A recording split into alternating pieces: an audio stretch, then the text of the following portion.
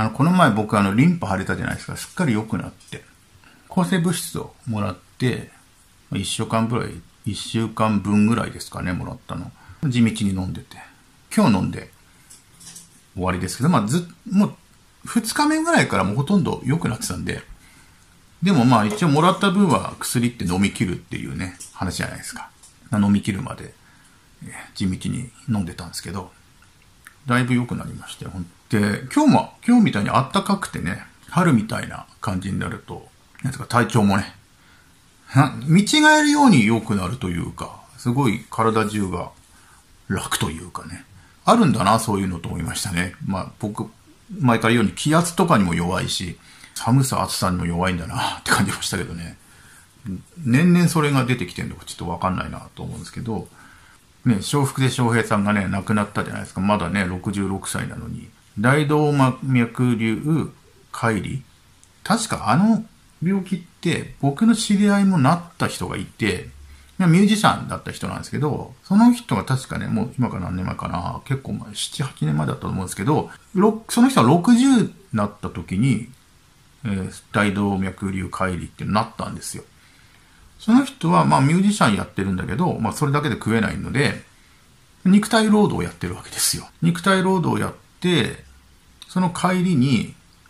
やっぱ翔平さんが言ってるのと同じで、めちゃくちゃ背中が痛くなったんですって。もう裂かれるように痛くなって、救急車じゃなくてタクシーに乗って、これはただ事じゃないと思ったらしいので、病院に行ったんですって。そしたらもう、病院行ってすぐに、これは緊急手術だって話になって、1名は取り留めた。でも、あと、ちょっと遅れてたら絶対死んでたって言われたって、それがそうだったんですよね。まあ、数人でね、会って、まあ、全然先輩なので、飲みながら聞いてたんですよ。そういうことがあって、えっ、ー、と、彼女がね、一体、すっごい年下の彼女と、67、25歳ぐらいの彼女と付き合ってて、その子が心配して一緒に住もうっていうようになったとか言って、でもやっぱりその人は、不節制でしたね。ヘビースモーカーですよ。彼女がタバコを禁煙させてやめさせたんですけど、ただ僕と飲んでて、バーに行こうとか言って、結構強めの酒とか飲み始めてんですよね。なんかバーボンとかね、飲み始めてて。タバコが吸いたいとか言い始めて、僕にタバコ買ってくれないかって言われて、そのバーでも売ってたんで、買ってあげて、渡したら、うー、何日ぶりだ、うめえとか言ってタバコ吸ってましたけど、まあそういうんだからなるんだろうななんて思いましたけど、あの、翔平さんもね、タバコヘビースモーカーだったって言ってましたよね。まあただ1回目になった59歳の時に、やっぱりもうその、ミューちゃんのモデルやっぱ60ぐらいになるみたいで、なった時に、えー、気をつけて禁煙したとは言ってるんですけど、まあそれまで1日4箱ぐらい吸ったっていうことですよね。その病気になるのは、大きいリスクとして、タバコと血圧とストレスって言ってましたよね。だから、僕タバコは吸わないですし、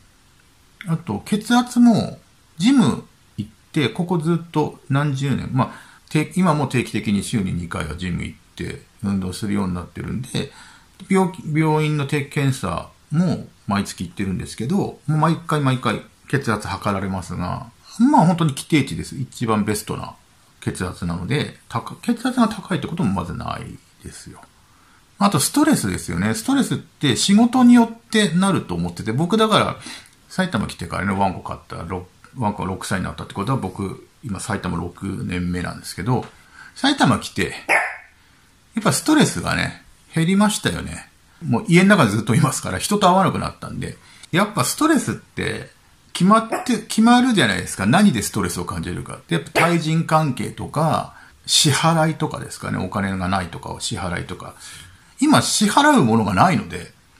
いや、楽で楽でそこら辺はしょうがないのと、僕が会いたい人としか今会わない状態なので、好きな人としか会わないから、あとも仕事絡みで会うことがまず今はないので、そういう意味ではストレスが全くなくなったで、そこも健康的に良くなってんのかなと思うんですよね。ただ、なんでリンパがああなったのかちょっと謎なんで、コロナワクチンのなんか後遺症とかだったら嫌だなぁなんてちょっと思ってるんで、この季節のね、寒暖差によって、えー、そういうのになったと僕は思いたいなと思ってるんですけど、まあそういうことでおかげさまで本当にかなり良くなったんで、全然本当に復帰しましたので、あの後もずっと大丈夫ですか大丈夫ですかっていう LINE が届いてるので、まあ、報告させていただきたいなと思いまして、えー、もう完璧で治りましたんで、大丈夫です。